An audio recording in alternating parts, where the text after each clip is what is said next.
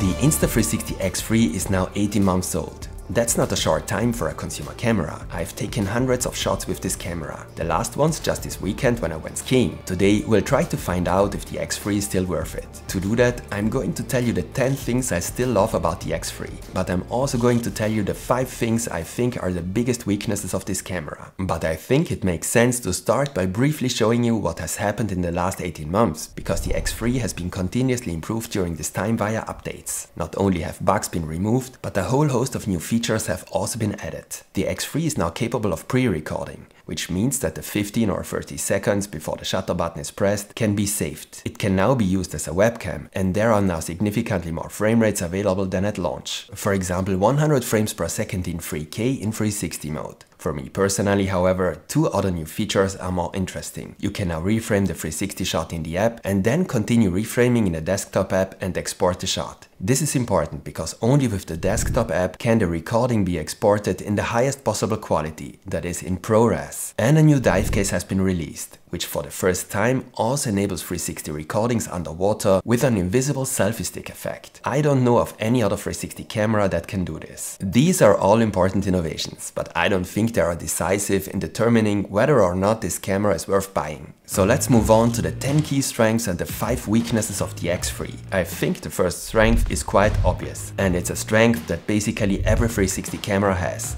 the reframing. It's simply a huge advantage if you can take a shot and then choose the right angle and post. You can also take 360 shots with the X3 and then play them back as 360 shots, but I think very few people will do that. Rather, it's just cool to press record without any major concerns and to have the certainty that you can still set the framing in the app so that it's correct. I think most people are less aware of the second strength. The Insta360 X3 has an extremely wide viewing angle. The standard field of view of an X3 shot is significantly wider than the field of view of a classic action camera, for example a GoPro or the Ace Pro. And that is a great advantage, especially for action shots. The extremely wide field of view results in a very immersive look, and it is relatively easy to get everything important in the frame. Incidentally, the X3 also has a clearly wider viewing angle than the GoPro Max. I already did a detailed comparison between the X3 and the GoPro Max some time ago, so if you are interested in this comparison, you will find a link in the video description, as well as to all the videos that I will mention today. In Incidentally, the Insta360 X3 also has a very wide field of view in single lens mode. In single lens mode you can take classic non-360 shots, just like with a standard camera. And you can even do this with a resolution of 4K and at up to 30 frames per second. And even though it's great that you can take a quick shot now and then and not have to reframe it, so that you can also use the X3 like a conventional camera, the single lens mode is one of the X3's weaknesses for me. Yes, I'm happy that this mode is available, but the image quality can't quite keep up with the 4K image of a modern action camera. This is simply due to the slightly smaller sensors that are built into the X3.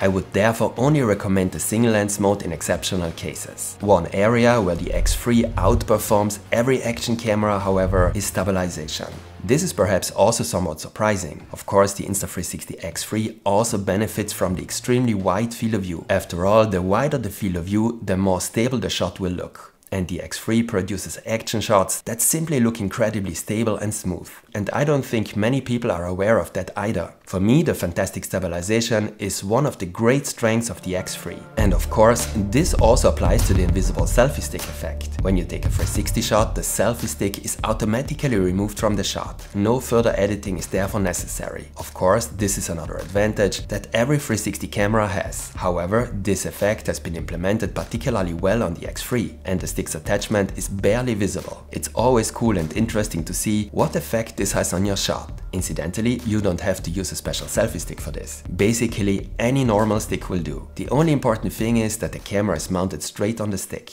In recent years, several action camera manufacturers have introduced a feature that allows you to use an app to remove the selfie stick from a traditional shot taken with a non-360 camera. This is also possible with Insta360 Ace Pro recordings. However, this effect is applied afterwards in the app and is more like editing an image in Photoshop. Depending on the situation, artifacts may well be visible. In addition, the effect is usually only available in a low resolution and for a short clip. This effect can therefore not be compared with the invisible selfie stick effect of a 360 camera. Even though the X3 can shoot at up to 5.7K, you need to reframe each 360 shot and select the desired framing. Basically, you are cropping the 360 image. This will of course result in a reduced resolution of the shot you export at the end. Ultimately, you will end up with a recording in Full HD, so 1080. If you mainly watch your recordings on your smartphone or use them for social media, this is generally not too much of a problem. On a larger screen, however, we are now used to high resolution recordings. And of course the reduced image quality then plays a role. I think this is probably the biggest weakness of the Insta360 X3 and basically of all other 360 cameras on the market. On the other hand, it's the reframing in combination with the invisible selfie stick effect that opens up completely new possibilities. If you have even the slightest creative streak and like to try out new things, then you will love this camera. With the X3 you can easily take shots that are not possible with a classic camera in this form. This is a completely new dimension of filmmaking.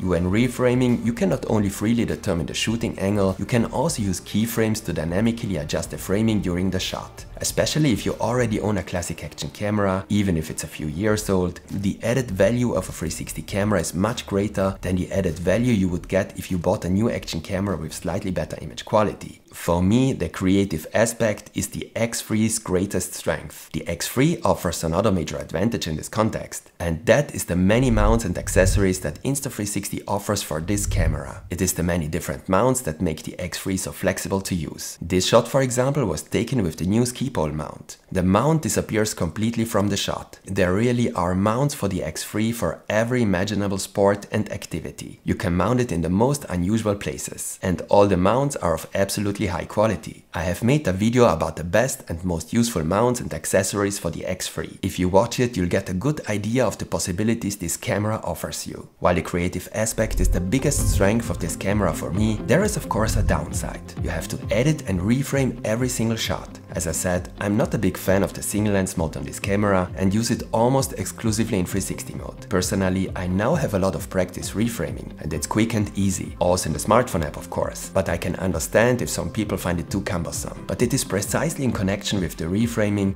that I see another particular strength of the X3, and that is the simple and quick operation of the Insta360 app. If you don't feel like keeping your subject in the center of the shot using keyframes, you can simply select your subject and have it tracked automatically. This can significantly simplify and speed up the reframing process. The app runs absolutely stable, is super easy to use and also includes a range of additional functions if needed. So you can adjust the viewing angle or the distortions. And now the smartphone app and the desktop app work together, as mentioned at the beginning. So you can select the framing in the smartphone app on the go and then continue working on it on the desktop and export the clip. What also cool is that the Insta360 app, especially for the X3, offers a variety of additional creative effects to enhance your clips. You can change the sky, add an AI generated effect to your clip, automatically simulate a drone shot. There are quite a few of these effects. Some are gimmicks of course, but as I said, especially if you have a creative streak and like to try something new, you can create some really cool clips with the many effects. Insta360 has been constantly adding new effects since the release of the X3. All of this is great and makes the Insta360 X3 an extremely versatile camera. But unfortunately, it's not suitable for every type of shot. As with every other 360 camera, the X3 also has two sensors and as you can imagine, these are not very large. This of course has disadvantages in low light conditions. Although I have made a detailed tutorial on how you can achieve decent results with the X3 in low light, it is best to use this camera in daylight and very good lighting conditions. Only then will you achieve optimum image quality. Since I mostly use the X3 as an action camera, this is not such a big problem for me, but if you are looking for an all-purpose camera to take on vacation, you need to consider